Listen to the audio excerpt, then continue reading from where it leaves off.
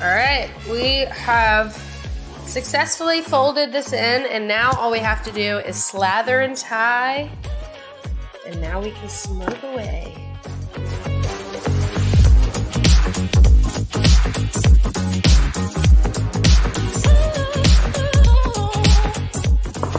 Okay, now we just roll it back the way we cut it.